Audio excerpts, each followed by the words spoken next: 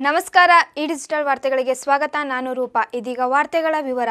ತುಮಕೂರಿನ ರೈಲ್ವೆ ನಿಲ್ದಾಣ ಮುಂಭಾಗದಲ್ಲಿರುವ ನಾಗಸುಬ್ರಹ್ಮಣ್ಯ ಸ್ವಾಮಿ ದೇವಸ್ಥಾನದಲ್ಲಿ ನಾಗಸುಬ್ರಹ್ಮಣ್ಯ ಸ್ವಾಮಿಯ ಹನ್ನೊಂದನೇ ವರ್ಷದ ವಾರ್ಷಿಕೋತ್ಸವ ಅದ್ದೂರಿಯಿಂದ ನಡೆಯಿತು. ತುಮಕೂರಿನ ರೈಲ್ವೆ ಸ್ಟೇಷನ್ ಮುಂಭಾಗದಲ್ಲಿರುವ ನಾಗಸುಬ್ರಹ್ಮಣ್ಯ ಸ್ವಾಮಿಯ ದೇವಸ್ಥಾನದಲ್ಲಿ ಸ್ವಾಮಿಯವರ ಹನ್ನೊಂದನೇ ವರ್ಷದ ವಾರ್ಷಿಕೋತ್ಸವ ಹಾಗೂ ಕುಂಭಾಭಿಷೇಕ ಮಹೋತ್ಸವ ನಡೆಯಿತು. ವಾರ್ಷಿಕೋತ್ಸವ ಪ್ರಯುಕ್ತ ತುಳುಷಷ್ಠಿ ಅಂಗವಾಗಿ ದೇವಸ್ಥಾನದಲ್ಲಿ ಬೆಳಕಿನಿಂದಲೇ ನವಗ್ರಹ ಹೋಮ ಗಂಧ ಹೋಮ, ಸರ್ಪಸೂಕ್ತ ಹೋಮ, ಸರ್ಪ ಮೂಲಮಂತ್ರ ಹೋಮಗಳು ನೆರವೇರಿತು. ಶ್ರೀ ರವಿಶರ್ಮ ನೇತೃತ್ವದಲ್ಲಿ ಎನ್ ಕೆ ಪ್ರಸನ್ನಕುಮಾರ್, ಅಜಿತ್ ಭಟ್ಟರ್ ರಾಮಸ್ವಾಮಿ ರವಿ ಸುಬ್ರಹ್ಮಣ್ಯನವರುಗಳು ವಿವಿಧ ಹೋಮಾದಿಗಳನ್ನ ನಡೆಸಿಕೊಟ್ಟರು. ವಾರ್ಷಿಕೋತ್ಸವದ ಅಂಗವಾಗಿ ಟೌನ್ ಹಾಲ್ ವೃತ್ತದಿಂದ ದೇವಸ್ಥಾನದವರೆಗೆ ಸುಬ್ರಹ್ಮಣ್ಯ ಸ್ವಾಮಿಯನ್ನ ಪೂರ್ಣಕುಂಭದೊಂದಿಗೆ ಕರೆತರಲಾಯಿತು. ಈ ಸಂದರ್ಭದಲ್ಲಿ ಗೊಂಬೆ ಕುಣಿತ ಚಿಟ್ಟಿ ಮೇಳ ಹಾಗೂ ಮಹಿಳಾ ವೀರಗಾಸೆ ನಾಚಿಟ್ಟೋಲ್ ಲಿಂಗದ ವೀರ ಕುಣಿತ ಸೇರಿದಂತೆ ವಿವಿಧ ಜಾನಪದ ಕಲಾ ತಂಡಗಳು ಎಲ್ಲರನ್ನ ಆಕರ್ಷಿಸಿತು.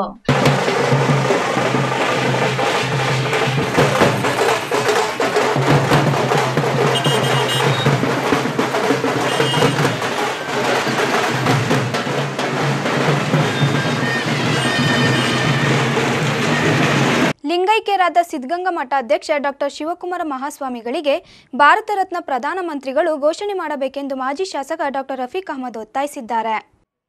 ಲಿಂಗೈಕ್ಯರಾದ ಸಿದ್ಧಗಂಗಾ ಮಠಾಧ್ಯಕ್ಷರಾದ ಡಾಕ್ಟರ್ ಶ್ರೀ ಶಿವಕುಮಾರ ಮಹಾಸ್ವಾಮೀಜಿಗಳಿಗೆ ಭಾರತ ರತ್ನ ನೀಡುವ ಬಗ್ಗೆ ಪ್ರಧಾನಿ ನರೇಂದ್ರ ಮೋದಿ ಅವರು ಪ್ರಕಟಿಸಬೇಕೆಂದು ಮಾಜಿ ಶಾಸಕ ಡಾಕ್ಟರ್ ಎಸ್ ರಫೀಕ್ ಅಹಮದ್ ಒತ್ತಾಯಿಸಿದರು.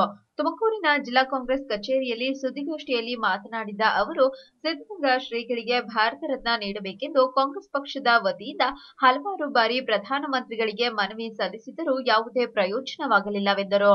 ಜನವರಿ ಎರಡರಂದು ತುಮಕೂರಿಗೆ ಆಗಮಿಸುತ್ತಿರುವ ಪ್ರಧಾನಿಗಳು ಈ ಸಂದರ್ಭದಲ್ಲಾದರೂ ಭಾರತ ರತ್ನ ನೀಡುವ ಬಗ್ಗೆ ಘೋಷಣೆ ಮಾಡುವಂತೆ ಬಿಜೆಪಿಯ ಮುಖಂಡರುಗಳು ಈ ಸಂದರ್ಭದಲ್ಲಿ ಒತ್ತಾಯಿಸಬೇಕೆಂದು ರಫೀಕ್ ಅಹಮದ್ ರವರು ಹೇಳಿದರು. ಕೇಂದ್ರದಲ್ಲಿ ಕಾಂಗ್ರೆಸ್ ಅಧಿಕಾರದಲ್ಲಿದ್ದಾಗ ಜಾರಿಗೆ ತಂದ ಹಲವಾರು ಯೋಜನೆಗಳನ್ನ ಈಗ ಬಿಜೆಪಿ ಸರ್ಕಾರ ಅನುಷ್ಠಾನಗೊಳಿಸುತ್ತಿದೆ ಎಂದು ಲೇವಡಿ ಮಾಡಿದರು. ದೇಶದಲ್ಲಿ ಈಗ ಆರ್ಥಿಕ ಸ್ಥಿತಿ ಕುಸಿತ, ನಿರುದ್ಯೋಗಿಗಳ ಸಂಖ್ಯೆ ಜಾಸ್ತಿಯಾಗುತ್ತಿದೆ ಎಂದು ಹೇಳಿದರು. ಜಿಲ್ಲಾ ಕಾಂಗ್ರೆಸ್ ಅಧ್ಯಕ್ಷ ರಾಮಕೃಷ್ಣ ಮಾತನಾಡಿ ಗುಬ್ಬಿ ತಾಲೂಕಿನ ಎಚ್ಎಎಲ್ ಘಟಕದಲ್ಲಿ ಉದ್ಯೋಗಕ್ಕಾಗಿ ಯುವಕರು ಕಾಯುತ್ತಿದ್ದಾರೆ. ಆದರೆ ಇನ್ನು ಆ ಘಟಕ ಆರಂಭವಾಗುವ ಲಕ್ಷಣವೇ ಕಾಣುತ್ತಿಲ್ಲವೆಂದರು. ವಸಂತ ನರಸಾಪುರದಲ್ಲಿ ನಡೆಯುತ್ತಿರುವ ಫುಡ್ ಪಾರ್ಕ್ನಲ್ಲಿ ಸ್ಥಳೀಯರಿಗೆ ಉದ್ಯೋಗ ಕೊಡಿಸುವುದಾಗಿ ಪ್ರಧಾನಿಗಳು ಈ ಹಿಂದೆ ಹೇಳಿ ಹೋಗಿದ್ದರು ಈವರೆಗೂ ಯಾವುದೇ ಅನುಷ್ಠಾನ ಆಗಿಲ್ಲವೆಂದು ಟೀಕಿಸಿದರು. ಎರಡನೇ ತಾರೀಕು ನಮ್ಮ ದೇಶದ ಪ್ರಧಾನಿಗಳಾದ ಮಾನ್ಯ ನರೇಂದ್ರ ಮೋದಿಯವರು ನಮ್ಮ ನಗರಕ್ಕೆ ಬರ್ತಾರೆ ಬಹಳ ಸಂತೋಷ. ಒಬ್ಬ ಸಾಮಾನ್ಯ ಪ್ರಜೆಯಾಗಿ ನಾವು ಅವರಿಗೆಲ್ಲ ಆತ್ಮೀಯಾಗಿ ಸ್ವಾಗತಿಸುವುದು ನಮ್ಮೆಲ್ಲರ ಕರ್ತವ್ಯವಾಗಿದೆ. ಆದರೆ ನಮ್ಮ ಜಿಲ್ಲಾಧ್ಯಕ್ಷ ಹೇಳಿದಂಗೆ ಅವರ ಭೇಟಿಗಳು ಇದುವರೆಗೂ ಮೂರ್ನಾಲ್ಕು ಸಾರಿ ನಮ್ಮ ನಗರಕ್ಕೆ ಹಾಗೂ ಜಿಲ್ಲೆಗೆ ಬಂದಿದ್ದಾರೆ. ಆದರೆ ಅವರು ಬಂದ ಉದ್ದೇಶ ಒಂದು ಕೂಡ ಪೂರ್ಣ ಆಗಿದೆ ಯಾವುದೇ ಒಂದು ಕಾರ್ಯಕ್ರಮ ಮಾಡಿದ್ರು ಕೂಡ ಅದು ವಿಫಲದಿಂದ ಕೂಡಿದೆ. ಯಾವುದೇ ಒಂದು ಕಾರ್ಯಕ್ರಮ ಪೂರ್ಣಗೊಂಡಿಲ್ಲ ಹಾಗಾಗಿ ಇವತ್ತು ಏನು ಎರಡನೇ ತಾರೀಕು ಬರ್ತಾ ಇದ್ದಾರೆ ಆ ಎರಡನೇ ತಾರೀಕಿನ ಕನಿಷ್ಠ, ಆ ಎರಡನೇ ತಾರೀಕು ಏನು ಕಾರ್ಯಕ್ರಮ ಮಾಡ್ತಾ ಇದ್ದಾರೆ ಅದು ಯಶಸ್ವಿಯಾಗಿರೋ ರೀತಿಯಲ್ಲಿ ಮಾಡಲಿ ಅಂತ ಹೇಳ್ಬಿಟ್ಟು ನಾನು ಆಶಿಸ್ತಾ ಇದ್ದೆ ಜೊತೆಗೆ ನಮ್ಮೆಲ್ಲರ ಆಸೆ, ತುಮಕೂರು ನಗರದ ತುಮಕೂರು ಜಿಲ್ಲೆಯ ಹಾಗೂ ಕರ್ನಾಟಕದವರ ಆಸೆ, ಸಿದ್ಧಗಂಗಾ ಮಠದ ಶ್ರೀಗಳಾಗಿದ್ದ ಶ್ರೀ ಶ್ರೀ ಶ್ರೀ ಡಾಕ್ಟರ್ ಶಿವಕುಮಾರ ಮಹಾಸ್ವಾಮಿಗಳಿಗೆ ಭಾರತ ರತ್ನ ಪ್ರಶಸ್ತಿ ಕೊಡಬೇಕಂತ ಹೇಳ್ಬಿಟ್ಟು ಕಳೆದ ಕೆಲವು ವರ್ಷಗಳಿಂದ ನಾವೆಲ್ಲರೂ ಒಗ್ಗಟ್ಟಿನಿಂದ ಪಕ್ಷಾತೀತವಾಗಿ ಒಗ್ಗಟ್ಟಿನಿಂದ ರಾಜ್ಯ ಸರ್ಕಾರಕ್ಕೆ ಹಾಗೂ ಕೇಂದ್ರ ಸರ್ಕಾರಕ್ಕೆ ಮನವಿಗಳನ್ನು ಸಲ್ಲಿಸಿದ್ವಿ.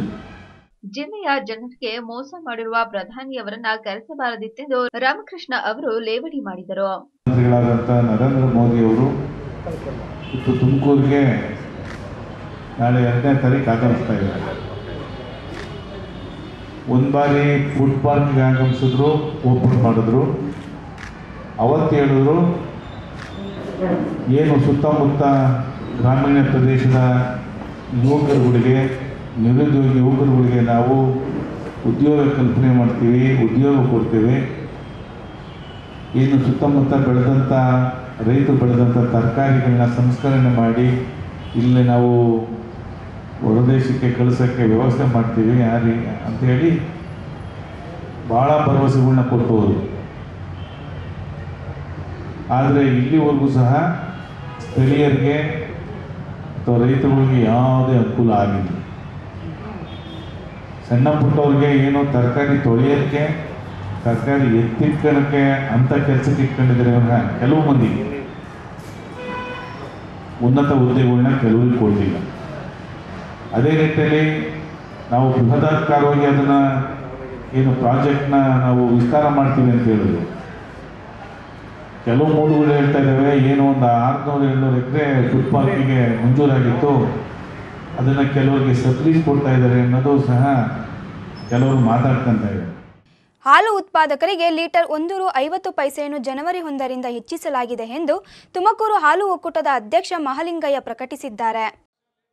ರೈತರನ್ನು ಸಂಕಷ್ಟದಲ್ಲಿರುವುದನ್ನು ಮನಗಂಡು ತುಮಕೂರು ಹಾಲು ಒಕ್ಕೂಟವು ಜನವರಿ ಒಂದರಿಂದ ಹಾಲು ಉತ್ಪಾದಕರಿಗೆ ನೇರವಾಗಿ ಒಂದೂವರೆ ರೂಪಾಯಿ ಹೆಚ್ಚಿಸಲಾಗಿದೆ ಎಂದು ಹಾಲು ಒಕ್ಕೂಟದ ಅಧ್ಯಕ್ಷ ಸಿವಿ ಮಹಾಲಿಂಗಯ್ಯ ಪ್ರಕಟಿಸಿದ್ದರು. ತುಮಕೂರಿನ ಸುದ್ದಿಗೋಷ್ಠಿಯಲ್ಲಿ ಮಾತನಾಡಿದ ಅವರು, ಗ್ರಾಹಕರು ಖರೀದಿಸುವ ಹಾಲಿನ ದರದಲ್ಲಿ ಯಾವುದೇ ಹೆಚ್ಚುವರಿ ಇರುವುದಿಲ್ಲವೆಂದು ಸ್ಪಷ್ಟಪಡಿಸಿದ್ದರು. ತುಮಕೂರು ಹಾಲು ಒಕ್ಕೂಟವು ಹಾಲು ಶೇಖರಣೆಯನ್ನು ದಿನೇ ದಿನೇ ಹೆಚ್ಚಿಸುತ್ತಿದ್ದು, ಎರಡ್ ಸಾವಿರದ ಹತ್ತೊಂಬತ್ತು ಇಪ್ಪತ್ತನೇ ಸಾಲಿನ ದಿನವಹಿ ಸರಾಸರಿ ಏಳು ಲಕ್ಷ ಇಪ್ಪತ್ತೇಳು ಸಾವಿರದ ಎಂಟುನೂರ ಎಂಬತ್ನಾಲ್ಕು ಲೀಟರ್ ಶೇಖರಣೆ ಆಗುತ್ತಿದೆ ಎಂದು ಹೇಳಿದರು. ಒಕ್ಕೂಟದ ನಿರ್ದೇಶಕರುಗಳು ಪಾಲ್ಗೊಂಡಿದ್ದರು.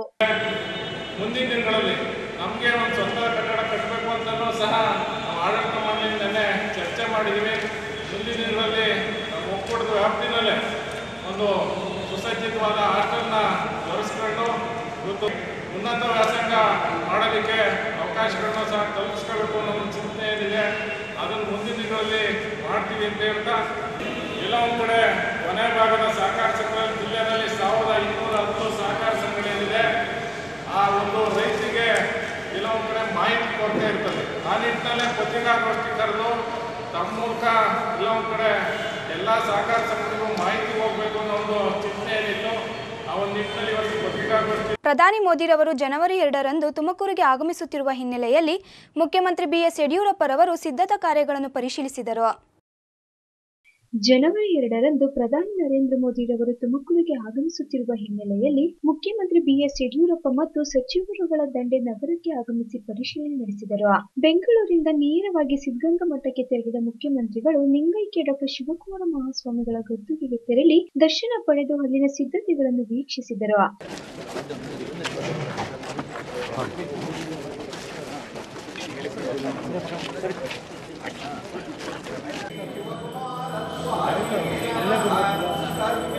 ಆ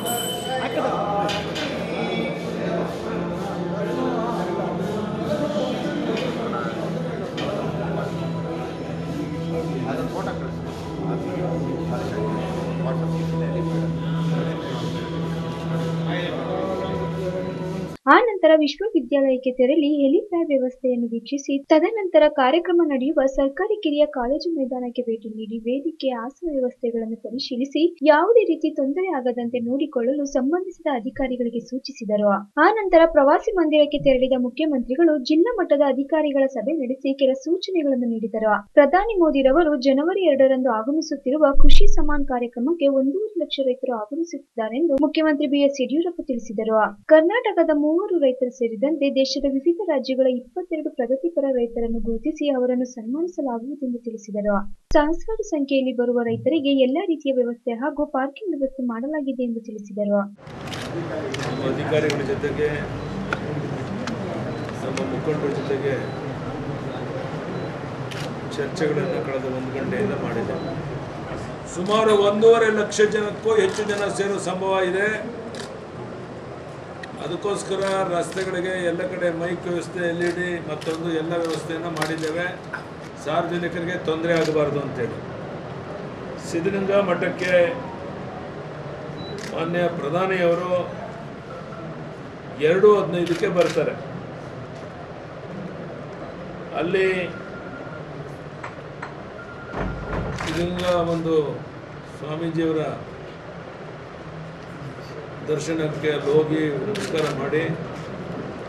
ಅಲ್ಲಿಂದ ಅಲ್ಲಿ ಇರುವಂಥ ವಿದ್ಯಾರ್ಥಿಗಳ ಜೊತೆ ಒಂದು ಹತ್ತು ನಿಮಿಷ ಸಂಭಾಷಣೆಯನ್ನು ಮಾಡಿ ಮಾತುಕತೆ ಅವರು ಮಾತನಾಡಿಬಿಟ್ಟು ಅಲ್ಲಿಂದ ನೇರವಾಗಿ ತುಮಕೂರಿಗೆ ಅವರು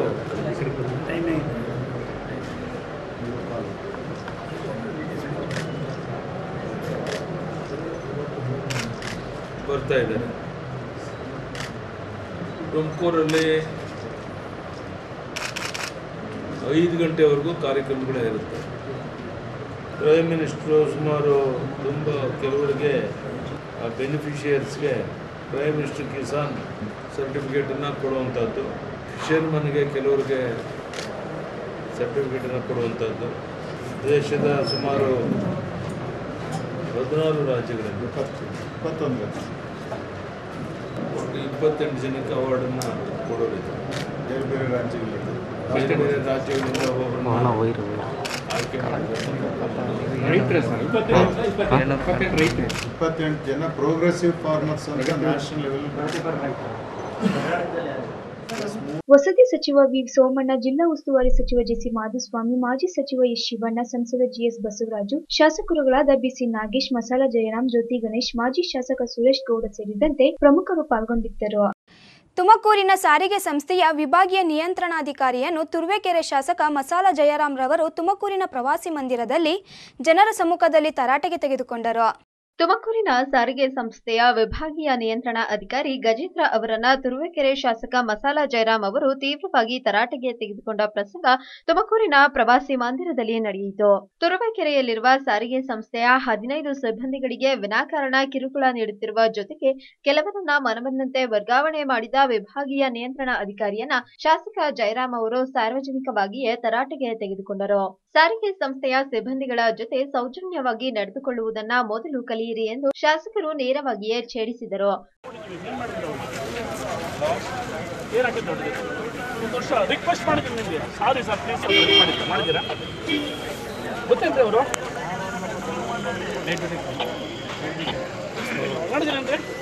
ಒಂದು ವರ್ಷ ರೀ ಒಂದು ವರ್ಷ.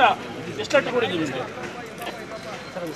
ನಿಮ್ಮ ಮನೆ ಆಳ, ಎಸ್ ಆರ್ ಡ್ರೈವರು ಅವರೆಲ್ಲ ಯಾಕೆ ಆತ್ಮಹತ್ಯೆ ಮಾಡ್ಕೊತಾರೆ ಹೇಳಿ? ಸೆಷನ್ ಡಿಪೋನಲ್ಲಿ ಏನೋ ಇದು ಕುಡಿತಾರೆ ವಿಷ ಕುಡಿದ್ರೆ ಯಾಕೆ ಕುಡಿತಾರೆ ಹೇಳಿ? ನಿಮ್ಮಂಥ ಆಫೀಸರ್ಗಳು ಕೊಡ್ತಿರೋ ಕಿರ್ಕುಳಕ್ಕೆ ಕುಡಿಯೋದವ್ರು ಜನ ಏನಾರ ಕಾರಣ ಆದವ್ರ, ಏನಾರ ಆಯ್ತು ನೀವೇ ಹೊಣೆ ಅದಕ್ಕೆ ನಮ್ಮ ಡ್ರೈವರ್ ಹದಿನೈದು ಜನ ನೀವು ಟ್ರಾನ್ಸ್ಫರ್ ಮಾಡಿದ್ದೀರಿ ನಮ್ಮ ಡಿಪೋಯಿಂದ ಒಬ್ಬ ಏನೋ ತೊಂದರೆ ಆಯಿತು, ಮಕ್ಳಿಗೆ ಅವ್ರಿಗೆ ತೊಂದರೆ ಆಯಿತು, ನೀವೇ ಹೊಣೆ. ಹೇಳಿ. ಅವನು ರಾಜ್ಯ ಇದು ನಮ್ಮ ತಾಲೂಕು ಅಧ್ಯಕ್ಷ. ಗ್ರಾಮ ಪಟ್ಟಣ ಇದು ತಾಲೂಕು ಅಧ್ಯಕ್ಷರು. ಪಂಚಾಯತ್ ಅಧ್ಯಕ್ಷರು ಅವರು ನಮ್ಮ ದೇವಸ್ಥಾನ ಪೂಜೆ ಅವ್ರ ತಮ್ಮ ಮಾವ ಇನ್ನೊಬ್ಬೆಲ್ಲವನೇ ಶಿವಕುಮಾರ್? ಇವನು ಅವ್ನ ಹೆಂಡತಿಗೆ ಅವತ್ತು ಆಕ್ಸಿಡೆಂಟ್ ಆಗಿದ್ದಾಗ ಎಷ್ಟು ಜನ ಸರ್? ಹೇಳಿದ್ರೆ ಯಾವಂದ್ರೆ ಎಂ ಎಲ್ ಎ ತಿಂಗ್ಳಿಸಿ ಕಳಿಸಿದ್ದಾರೆ ರಿಟರ್ನ ಸೌಜನ್ಯ ಬೇಡ ಒಬ್ಬ ಎಂ ಎಲ್ ಎ ಫೋನ್ ಮಾಡಿದ್ರೆ ಹುಡುಕೊಂಬರ್ಬೇಕು ನಿಮ್ಮನ್ನ. ಫೋನ್ ಮಾಡಿ ಫೋನ್ ಎತ್ತೀರ ನೀವು? ಯಾವತ್ತು ಫೋನ್ ನೀನು ನಾನು ನನಗೋಸ್ಕರ ಕೇಳ್ತಿಲ್ಲ ಹದಿನೈದು ಜನ ಎಮ್ಮೆ ಕರ್ಕೊಂಬಂದಿದ್ದಾರೆ ಡ್ರೈವರ್ಗಳನ್ನ ಇವತ್ತು ಸಿ ಎಂ ಮುಂದೆ ಮಾತಾಡಿದ್ರೆ ಕಥೆನೇ ಬೇರೆ ಆಗೋದು ಮಾತಾಡಿಲ್ಲ ನೀವೆಲ್ಲ ಹೋಗ್ಬಿಡ್ತೀವಿ ಬೆಂಗಳೂರಿಗೆಲ್ಲ ಸೆಟ್ಲ್ ಆಗ್ಬಿಡ್ತೀವಿ ತಿಳ್ಕೊಂಡಿರ್ಬೇಕು. ಬೆಂಗಳೂರು ಸೆಟ್ಲ್ ಆಗಿ ಬಿಡಲ್ಲ. ಚಾಮರಾಜನಗರ ಕೊಳೆಗಳ ಕಳಿಸ್ತೀವಿ ರಿಕ್ವೆಸ್ಟ್ ಮಾಡಿದ್ದೀನಿ. ಮುಂಚೆ ಆಕ್ಸಿಡೆಂಟ್ ಆಗಿದ್ದಾನ ಗ್ರಾಮದ ಗಾಡಿಗೆ ಆಕ್ಸಿಡೆಂಟ್ ಆಗಿದೆ. ಒಂದು ಡ್ಯೂಟಿ ಚೇಂಜ್ ಮಾಡ್ಕೊಂಡು ಒಂದು ವರ್ಷ ಅದು ಎಂ ಪಿ ಲೆಟ್ರ್ ಕೊಟ್ಟು ಎಂ ಎಲ್ ಎ ಲೆಟ್ರ್ ಕೊಟ್ಟಿದ್ದೀನಿ ಜ್ಯೋತಿ ಗಣೇಶ್ ಕೊಟ್ಟಿದ್ದೀನಿ ನಾನು ಕೊಟ್ಟಿದ್ದೀನಿ ಸಿಬ್ಬಂದಿಗಳಿಗೆ ಅನಾವಶ್ಯಕವಾಗಿ ಕಿರುಕುಳ ನೀಡಿದರೆ ಮುಂದಿನ ಪರಿಣಾಮ ಎದುರಿಸಬೇಕಾಗುತ್ತದೆ ಎಂದು ಶಾಸಕರು ಎಚ್ಚರಿಕೆ ನೀಡಿದರು. ಅಧಿಕಾರಿಯ ಕಿರುಕುಳದಿಂದ ಸಿಬ್ಬಂದಿಗಳು ತುಂಬಾ ತೊಂದರೆ ಅನುಭವಿಸುತ್ತಿದ್ದು, ನನ್ನ ಹಾಗೂ ಶಾಸಕ ಜ್ಯೋತಿ ಗಣೇಶ್ ಅವರ ಶಿಫಾರಸು ಪತ್ರಕ್ಕೂ ಮಾನ್ಯತೆ ನೀಡದೆ ಉಡಾಫೆಯಿಂದ ವರ್ತಿಸುತ್ತಿದ್ದಾರೆಂದು ಶಾಸಕ ಮಸಾಲ ಜಯರಾಮ್ ಅವರು ಹೇಳಿದ್ದಾರೆ. ಅದು Tumakuru K S R C K S R T C D C ಅವರಾದ Gajendra Kumar ಅವರು. ನಮ್ಮ ತಾಲೂಕಿನ ಸುಮಾರು ಹದಿನೈದು ಜನ ಹತ್ತು ಜನ ಹದಿನೈದು ಜನ ಕಂಡಕ್ಟ್ಗಳನ್ನ ಡ್ರೈವರ್ಗಳನ್ನ ಬೇರೆ ಬೇರೆ ಊರುಗಳಿಗೆ ಸಸ್ಪೆಂಡ್ ಮಾಡಿ ಮತ್ತೆ ಆದೇಶ ಮಾಡಿ ಅವ್ರನ್ನ ಸಸ್ಪೆಂಡ್ ಮಾಡಿ ಆದೇಶ ಮಾಡೋರೆ. ಸ್ವಲ್ಪ ಜನಕ್ಕೆ ಪಾವಗಡ ಸುಮಾರು ನೂರು ಕಿಲೋಮೀಟರ್ ಡಿಸ್ಟೆನ್ಸ್ಗೆ ಎಲ್ಲರೂ ಟ್ರಾನ್ಸ್ಫರ್ ಮಾಡಿ ಅವ್ರಿಗೆ ಕೊಡಬಾರ್ದು ಕಿರುಕುಳ ಕೊಡ್ತಾರೆ. ಇದಾಗಲೇ ಇದು ಯುದ್ಧ ಮಾಡೋಕ್ಕೋಸ್ಕರ ಒಬ್ರು ಆರೆ ವಿಷ ಕುಡಿದಿದ್ರು ಡಿಪೋನಲ್ಲಿ ಸಂಸ್ ಬನ್ನಿ. ವಿಷ ಕುಡಿದಿದ್ರು, ಇದೆಲ್ಲ ಪರಿಸ್ಥಿತಿ ಹಾಗಾಗಿದೆ ಅದ್ರಾಗು ನಮ್ಮ ತಾಲೂಕಿನಲ್ಲಿ ಸುಮಾರು ಜನ, ಒಬ್ಬ ಸ್ವಂತ ಹೆಂಡತಿ ಕಾಲು ಮುರಿದೋಗ್ಬಿಟ್ರೆ ಕಾಲು ಮುರಿದೋಗಿರೋದನ್ನ ಅವ್ರಿಗೆ ಪ್ರೆಗ್ನೆಂಟ್ ಹುಡುಗಿ, ಆ ಹುಡುಗಿಗೋಸ್ಕರ ಡೆಲಿವರಿಗೋಸ್ಕರ ರಜಾ ಹಾಕೋರು ಎಂಟು ದಿವಸ ಅವನ್ನ ಕೂಡಲೇ ಟ್ರಾನ್ಸ್ಫರ್ ಮಾಡಿಬಿಟ್ಟು ಸಿರಾ ಹುಡುಗಿ ಹಾಸ್ಪಿಟ್ಲಲ್ಲಿ ಇದ್ರು ಸಹಿತ ಬರೀ ಡ್ಯೂಟಿ ಮಾಡ್ಕೊಳ್ಳೋದ್ರೆ ಸಿರಾ ಟ್ರಾನ್ಸ್ಫರ್ ಮಾಡೋರು ಸುಮಾರು ಜನಕ್ಕೆ ಕೊಟ್ಟವ್ರೆ ನನ್ನ ಲೆಟ್ರು ನಾನು ವೈಯಕ್ತಿಕ ಲೆಟ್ರ್, ನಾನು ಮತ್ತು ಜ್ಯೋತಿ ಗಣೇಶ ನಮ್ಮ ತುಮಕೂರು ಶಾಸಕರ ಜ್ಯೋತಿ ಗಣೇಶರು ಮತ್ತು ಎಂ ಪಿ ಅವ್ರ ಲೆಟ್ರ್ ಕೊಟ್ಟವ್ರೆ. ಆ ಲೆಟ್ರನ್ನ ಹರಿದಾಕ್ಬಿಟ್ಟು ಮುಖದ ಮೇಲೆ ಎಸ್ ಕಳಿಸಿದ್ದಾರೆ. ಹೌದು. ಅವ್ರು ಯಾರು ಹೇಳೋಕ್ಕೆ ಅಂತೇಳಿ ಈ ಥರ ಅವ್ರ ಅಧಿಕಾರ ದುರುಪಯೋಗ ಪಡಿಸ್ಕೊಂಡು ಇರ್ತಕ್ಕಂಥ ಚಾಲಕರಿಗೆ ಮತ್ತು ಸಿಬ್ಬಂದಿಗೆ ಕೊಡಬಾರ್ದು ಕಿರುಕುಳ ಕೊಟ್ಟು ಅವ್ರನ್ನ ಯಾವ ವ್ಯವಸ್ಥೆ ಬಂದರೆ ನೇಣು ಹಾಕೊಂಡು ಆತ್ಮಹತ್ಯೆ ಮಾಡ್ಕೋಬೇಕು. ಫ್ಯಾಮಿಲಿ, ಕುಟುಂಬ ಸಮೇತ ಆ ಪರಿಸ್ಥಿತಿಗೆ ಅವ್ರನ್ನ ತಂದು ನಿಲ್ಲಿಸಿ ಇವ್ರು ಅಷ್ಟು ದೌರ್ಜನ್ಯ, ಅಷ್ಟು ನಡವಳಿಕೆ ಮಾಡೋರು. ತಿಪಟೂರು ತಾಲೂಕಿನ ಆಲ್ಕುರ್ಕೆ ಗ್ರಾಮದಲ್ಲಿ ಮಕ್ಕಳ ಆಹಾರ ಮೇಳ ಆಯೋಜಿಸಲಾಯಿತು. ಮನುಷ್ಯ ಪ್ರಕೃತಿದತ್ತವಾಗಿ ದೊರೆಯುವ ಸೊಪ್ಪು, ತರಕಾರಿ, ಕಾಳುಗಳನ್ನ ಸೇವಿಸಿ ಉತ್ತಮವಾದ ಆರೋಗ್ಯ ಪಡೆಯಬಹುದು ಎಂದು ಪರಿಸರ ತಜ್ಞ ಮುರಳೀಧರ್ ಗುಂಗರಮಳೆ ತಿಳಿಸಿದರು. ತಿಪಟೂರು ತಾಲೂಕಿನ ಹಾಲ್ಕುರಿಕೆ ಗ್ರಾಮದ ಶ್ರೀ ತರಳಬಾಳು ಇಂಟರ್ನ್ಯಾಷನಲ್ ಸ್ಕೂಲ್ ಆವರಣದಲ್ಲಿ ಆಯೋಜಿಸಿದ್ದ ಅಜ್ಜಿಯ ಮಡಿಲು, ಸೊಪ್ಪಿನ ಕಡಲು ಹಾಗೂ ಮಕ್ಕಳ ಆಹಾರ ಮೇಳವನ್ನ ಉದ್ಘಾಟಿಸಿ ಮಾತನಾಡಿದ ಅವರು, ನಮ್ಮ ಸುತ್ತಮುತ್ತಲಿನ ವಾತಾವರಣ ಅತಿ ಹೆಚ್ಚು ಪೌಷ್ಟಿಕಾಂಶ ಹೊಂದಿರುವ ಸೊಪ್ಪು ಹಾಗೂ ತರಕಾರಿಗಳು ಸಿಗುತ್ತವೆ. ಈ ಭಾಗದಲ್ಲಿ ಸುಮಾರು ನೂರ ಐವತ್ತಕ್ಕೂ ಹೆಚ್ಚು ಸೊಪ್ಪಿನ ಪ್ರಭೇದಗಳಿದ್ದು ಇವುಗಳ ಸೇವನೆಯಿಂದ ಆರೋಗ್ಯಪೂರ್ಣ ಜೀವನ ನಡೆಸಬಹುದು. ನಮ್ಮ ಹಿರಿಯರು ನಮ್ಮ ಹವಾಮಾನಕ್ಕೆ ಅನುಗುಣವಾಗಿ ಕಾಲಕಾಲಕ್ಕೆ ಸೊಪ್ಪುಗಳನ್ನ ಉಪಯೋಗಿಸಿ ದೀರ್ಘಾಯುಷಿಗಳಾಗಿ ಬದುಕಿದ್ದರು. ಆದರೆ ನಮ್ಮ ಪರಂಪರೆಯ ಆಹಾರ ಪದ್ಧತಿಯನ್ನ ನಾವು ಮುಂದಿನ ಪೀಳಿಗೆಗೆ ಪರಿಚಯಿಸಬೇಕು ಎಂದರು. ಕಾರ್ಯಕ್ರಮದಲ್ಲಿ ತರಳಬಾಳು ಇಂಟರ್ನ್ಯಾಷನಲ್ ಸ್ಕೂಲ್ ಸ್ಥಳೀಯ ಸಲಹಾ ಸಮಿತಿಯ ಅಧ್ಯಕ್ಷರಾದ ಎಚ್ ವಿ ನಾಗರಾಜು ಅಧ್ಯಕ್ಷತೆ ವಹಿಸಿದರು. ಆಹಾರ ತಜ್ಞರಾದ ಡಾಕ್ಟರ್ ಉಷಾ ಪ್ರಶಾಂತ್ ಹಾಗೆಯೇ ಎಚ್ಸಿಎಂ ಕಾಲೇಜು ಪ್ರಾಚಾರ್ಯರಾದ ಎಚ್ಸಿಎಂಜಿ ಕಾಲೇಜು ಪ್ರಾಚಾರ್ಯ ಕುಬೇಂದ್ರಪ್ಪ ಪ್ರೌಢಶಾಲಾ ಮುಖ್ಯ ಶಿಕ್ಷಕರಾದ ಮಂಜುನಾಥ್, ತರಳಬಾಳು ಇಂಟರ್ನ್ಯಾಷನಲ್ ಸ್ಕೂಲ್ನ ಮುಖ್ಯ ಶಿಕ್ಷಕರಾದ ವಿಜಯ್ ಕುಮಾರ್ ಮುಂತಾದವರು ಉಪಸ್ಥಿತರಿದ್ದರು. ದೇವನಹಳ್ಳಿ ಪಟ್ಟಣದ ಗುರುಭವನದಲ್ಲಿ ವಾಜಪೇಯಿ ಅವರ ಹುಟ್ಟುಹಬ್ಬದ ಅಂಗವಾಗಿ ರಕ್ತದಾನ ಶಿಬಿರ ನಡೆಯಿತು. ದೇವನಹಳ್ಳಿ ಮಂಡಳ ಭಾರತೀಯ ಜನತಾ ಪಕ್ಷ ರಾಷ್ಟ್ರೋತ್ಥಾನ ರಕ್ತನಿಧಿ ಇವರ ಸಂಯುಕ್ತಾಶ್ರಯದಲ್ಲಿ ಅಟಲ್ ಬಿಹಾರಿ ವಾಜಪೇಯಿ ಅವರ ಹುಟ್ಟುಹಬ್ಬದ ಅಂಗವಾಗಿ ಸ್ವಯಂ ಪ್ರೇರಿತ ರಕ್ತದಾನ ಶಿಬಿರವು ಪಟ್ಟಣದ ಗುರುಭವನದಲ್ಲಿ ಬಿಜೆಪಿ ತಾಲೂಕು ನಿಯೋಜಿತ ಅಧ್ಯಕ್ಷ ಬೊಮ್ಮವಾರ ಸುನೀಲ್ ರವರ ಅಧ್ಯಕ್ಷತೆಯಲ್ಲಿ ನಡೆಯಿತು. ಅಜಾತ ಶತ್ರು ಮಾಜಿ ಪ್ರಧಾನಿಗಳಾದ ವಾಜಪೇಯಿ ಅವರ ಹುಟ್ಟುಹಬ್ಬದ ಅಂಗವಾಗಿ ರಕ್ತದಾನ ಶಿಬಿರ ಹಾಗೂ ಕ್ರಿಕೆಟ್ ಟೂರ್ನಿಮೆಂಟ್ ಆಯೋಜಿಸಿದ್ದು, ಯುವಕರು ಅಟಲ್ಜಿರವರ ಅಭಿಮಾನಿಗಳು ಸ್ವಯಂ ಪ್ರೇರಿತವಾಗಿ ರಕ್ತದಾನ ಮಾಡುತ್ತಿದ್ದು, ಅವರ ಪಕ್ಷ ಅಧಿಕಾರಕ್ಕೆ ಬರಲು ಹಾಕಿದ ಬುನಾದಿ ಇಂದಿನ ಮುಖಂಡರಿಗೆ ಆದರ್ಶ. ಕಳೆದ ಇಪ್ಪತ್ತು ವರ್ಷದಿಂದ ಅಟಲ್ಜಿರವರ ಹುಟ್ಟುಹಬ್ಬಕ್ಕೆ ಇಂತಹ ಸಮಾಜಮುಖಿ ಕಾರ್ಯಗಳು ಮಾಡುತ್ತಿರುವುದಾಗಿ ರಾಜ್ಯ ರೈತ ಮೋರ್ಚಾ ಮುಖಂಡರಾದ ನಾರಾಯಣಗೌಡ ತಿಳಿಸಿದ್ರು. ಕ್ರಿಕೆಟ್ ಟೂರ್ನಮೆಂಟು ಮತ್ತು ರಕ್ತದಾನ ಶಿಬಿರವನ್ನು ನಾವು ಏರ್ಪಾಡು ಮಾಡಿದ್ವಿ. ಈಗಾಗಲೇ ಕ್ರಿಕೆಟ್ ಪಂದ್ಯ ಮುಕ್ತಾಯ ಆಗಿದೆ. ಇವತ್ತು ವಾಜಪೇಯಿ ಅವರ ಹೆಸರಿನಲ್ಲಿ ರಕ್ತದಾನ ಶಿಬಿರವನ್ನು ನಾವು ಏರ್ಪಾಡು ಮಾಡಿದ್ದೇವೆ. ಜೊತೆಗೆ ಇವತ್ತು ನಾವು ನೂರಾರು ಜನ ಇವತ್ತು ಯುವಕರು ಬಂದು, ಇವತ್ತು ವಾಜಪೇಯಿ ಅವರ ಒಂದು ಏನು ಅವರ ನಾಯಕತ್ವದಲ್ಲಿ ಭಾರತೀಯ ಜನತಾ ಪಕ್ಷ ಇವತ್ತು ಇಡೀ ದೇಶದಲ್ಲಿ ಈ ಮಟ್ಟಕ್ಕೆ ಬರೋದಕ್ಕೆ ಕಾರಣಕರ್ತರಾದಂಥ ವಾಜಪೇಯಿ ಅವರು ನಮ್ಮ ಮುಂದೆ ಇದೆ ಅವರ ಹೆಸರಿನಲ್ಲಿ ಪ್ರತಿ ವರ್ಷ ಕೂಡ ನಾವು ಈಗ ಈಗಾಗಲೇ ಒಂಬತ್ತು ವರ್ಷ ಈ ಒಂದು ಕಾರ್ಯಕ್ರಮವನ್ನು ಮಾಡಿದ್ದೀವಿ. ಇದು ಹತ್ತನೇ ವರ್ಷ. ಇದನ್ನು ಈ ಕಾರ್ಯಕ್ರಮನ ಯಶಸ್ವಿಗೊಳಿಸೋದಕ್ಕೆ ನಮ್ಮ ತಾಲೂಕಿನ ಎಲ್ಲ ಯುವಕರು ಇವತ್ತು ಬಂದು ಸ್ವಯಂ ಪ್ರೇರಿತವಾಗಿ ರಕ್ತದಾನ ರಕ್ತದಾನ ಮಾಡ್ತಿದ್ದಾರೆ. ಅವರೆಲ್ಲರಿಗೂ ನಾವು ವಾಜಪೇಯಿ ಅವರ ಪರವಾಗಿ ಅವರಿಗೆ ಧನ್ಯವಾದಗಳನ್ನು ಅರ್ಪಿಸ್ತಾ ಇವತ್ತು ನಾವು ಈಗಾಗಲೇ ಚಂದ್ರಣ್ಣವ್ರು ಮಾತಾಡಿದಾಗೆ ಇವತ್ತು ಬೇಜಾವರ್ ಶ್ರೀಗಳು. ಈ ಸಂದರ್ಭದಲ್ಲಿ ಮಾಜಿ ಶಾಸಕ ಚಂದ್ರಣ್ಣ ಮುಖಂಡರಾದ ಎ ವಿ ನಾರಾಯಣ ಸ್ವಾಮಿ ಇನ್ನು ಹಲವು ಮುಖಂಡರು ಭಾಗಿಯಾಗಿ ರಕ್ತದಾನ ಮಾಡಿದರು. ಇಲ್ಲಿಗೆ ವಾರ್ತಾ ಪ್ರಸಾರ ಮುಕ್ತಾಯವಾಯಿತು. ಸ್ಥಳೀಯ ಸುದ್ದಿಗಳಲ್ಲಿ ಸದಾ ಮುಂದೆ ಈ ಡಿಜಿಟಲ್.